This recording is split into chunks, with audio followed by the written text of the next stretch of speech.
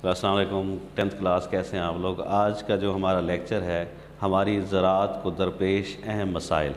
उसके बारे में आज हम डिस्कस करेंगे कि हमारी ज़रात को दरपेश अहम मसाइल कौन से हैं जिसकी वजह से हमारी ज़रात जो है वो तरक्की नहीं कर रही। सबसे पहला जो हमारा मसला है ज़रूरी मदाखलत की कमी है।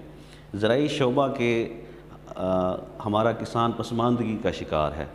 इसकी माली हालत बहुत ख़राब है इसके पास इतने पैसे नहीं होते कि वो काश्तकारी सही तरह कर सके, जदीद मशीनों का इस्तेमाल कर सके। वो इंसान जो दूसरों के लिए खुराक फ्राहम करता है, इसे दो वक्त की रोटी मैसर नहीं है। गंदम चावल पैदा करते हैं, हमारे जो है रोटी जिससे हम बनाते हैं, गंदम से बनाते हैं तो वो पैदा करते हैं, लेकिन उनकी हालत इतनी है कि वो दो रक्त वो रोटी जो है उन्हें मैसर नहीं है। अच्छे बीज, कीमियाई खादें, कीड़े मार अद्वियात ट्रैक्टर, थ्रेशर, हारवेस्टर और आबपाशी के जदीद ज़राए जैसे मुदाखलत की फरहमी और इनका इस्तेमाल एक औसत दर्जे के किसान के लिए बहुत मुश्किल है। हारवेस्टर का इस्तेमाल है, अच्छे बीज हैं और कीमियाई खादें हैं, ये मुदाखलात हैं जो हम ज़मीन में इस्तेमाल करते हैं तो पैदावार हासिल करते हैं। तो ज़रूरी मुदाखलत की कमी है माली मसाइल की वजह से। अब दूसरा हम जो मसला है, काबिल काश्त रकबा का गैर मौसर इस्तेमाल, यानी जो रकबा काश्त हो रहा है, उसका इस्तेमाल भी सही नहीं हो रहा, सही तरीके से। पाकिस्तान में लाखों एकड़ अराजी को इस्तेमाल में लाने के लिए कोई मनसूबा बंदी नहीं है। सरमाए की कमी और आबपाशी की नाकाफ़ी सहूलतों की वजह से काबिल काश रकबा का बहुत कम इस्तेमाल होता है। एक तो सरमाया किसान के पास बहुत कम है और दूसरा जो मसला है कि आबपाशी के जो पानी लगाने के जो ज़राए हैं, वो भी नाकाफ़ी हैं।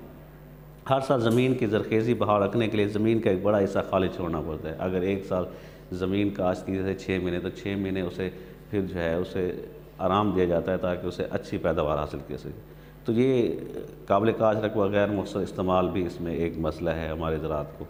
तीसरा जो हमारा मसला है, वो है कुदरती आफात हैं। कुदरती आफात की वजह से भी जो है हमारा एक ज़रूरी ज़रात में एक बहुत बड़ा मसला है।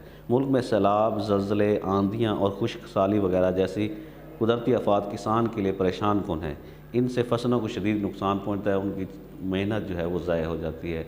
और माली तौर पर उन्हें नुकसान होता है, इसलिए ज़रात को ये बहुत बड़ा मसला है, कुदरती आफात है। उसके बाद है नाकाफ़ी ज़रा आबपाशी। पाकिस्तान के नहरी निज़ाम के बावजूद हमारे आबपाशी के ज़रा नाकाफ़ी हैं।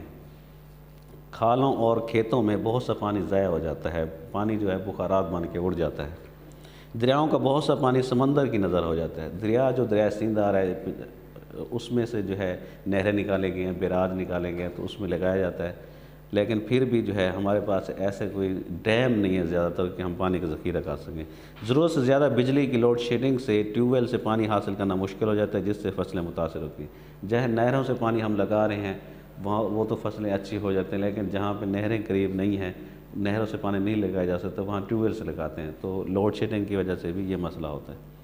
उसके बाद जदीद तरीका पर तवज्जो ना देना। हमारे मुल्क में फ़सलों के लिए नए बीज कीमियाई खादों और ज़रूरी मशीनरी के इस्तेमाल का रुझान बहुत कम है। इन चीज़ों का इस्तेमाल बहुत कम किया जाता है। ज़रूरी ज़मीनों पर ज़्यादा से ज़्यादा फ़सलें काश्त करने की तरफ़ बहुत कम तोज्जो दी जाती है कि ज़्यादा से ज़्यादा रकम हम काश्त करें तो इस पर कम तोज्जो दी जाती है। तो जदीद तरीक़ेकार जो है वो नहीं अपना रहे, कुछ किसान जो है पढ़े लिखे नहीं हैं तो ये भी उनके लिए मसला है। ज़रूरी कर्ज़ों की अदम फरहमी है। ज़रूरी कर्ज़ा देने वाले इदारों की कमी के बहस किसान ये कर्ज़े आमतौर पर आड़तियों और सहकारों से ले लेते हैं। जिनकी शरह सूद बहुत ज़्यादा होती है, यानी जो पैसा लेते हैं, उन पर सूद ज़्यादा होता है। इनके मसाइल है, इसलिए हुकूमत को ज़्यादा से ज़्यादा बैंक बनाए, कि ज़रूरी कर्ज़े देने के लिए कम शरह पे सूद पे देना चाहिए। वो किसानों के इस्तेसाल करते हैं, जिससे किसान परेशान रहते हैं। ये भी एक ज़रूरी मसला है। उसके बाद है सेमोथोर। हमारी ज़मीन का बहुत बड़ा हिस्सा सेमोथोर की वजह से काबिल काश्त नहीं हो रहा। इसके अलावा हर साल बहुत सी ज़मीन कटाव का भी शिकार हो रही है। तो जिससे जरखेज़ रकबा कम हो जाता है, जिससे भी ज़रात की हमें पैदावार बहुत कम होती है। तो इस मसले पे भी हल करना चाहिए। उसके बाद अच्छे ज़रा नकलो हमल की कमी है। हमारे मुल्क में देहातों से मंडियों तक ज़रूरी अजनास जो चीज़ें हैं, गैर तरक्की याफ्ता ज़रा आमदोरफ्त की वजह से पहुँचाना बहुत मुश्किल है। और किसानों के लिए मंडियों तक रसाई ना होने की वजह से आढ़ती इनको मुनासिब मुआवजा नहीं देते।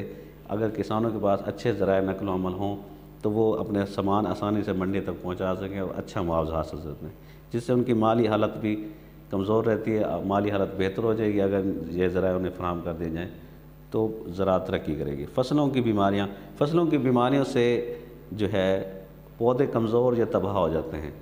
और एक अंदाजे को मतलब इस वजह से पाकिस्तान में पच्चीस फ़ीसद पैदावार कम हो जाती है। अगर सौ मन एक एकड़ से हासिल होता है तो इन फ़सलों में जो बीमारियाँ होती हैं, इनकी वजह से पच्चीस मन तकरीबन कम हो जाएँगे। पच्चीस फ़ीसद जो है, अगर हम इसे कहें। किसानों की पसमानदगी भी एक है कि नाख्वानदा खानदा कहते हैं पढ़ा लिखा और नाख्वानदा कहते हैं अनपढ़। नाख्वानदगी किसानों की पसमानदगी बड़ी वजह है। पाकिस्तान में सत्तर फ़ीसद लोग जो है ज़रात से मुंसलिक हैं तो उनमें से अगर पढ़े लिखे नहीं होंगे तो वो समझ नहीं सकेंगे जदीद तरीक़ों को और जदीद तरीक़ों को इस्तेमाल नहीं कर सकेंगे तो वो इस वजह से ज़रात तरक्की हमारी नहीं कर रही।